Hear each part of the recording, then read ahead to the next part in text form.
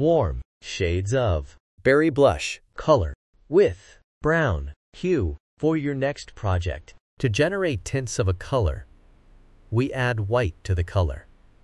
And tints creates light and exquisite emotions.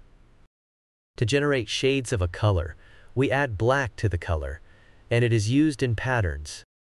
3D effects, layers and shades create depth and drama. berry blush, Is a warm color, and it emits cozier and active emotion.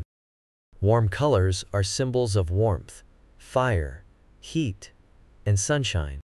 It also evokes joy, passion, love, and even anger emotions. You can see them used in restaurants and gyms.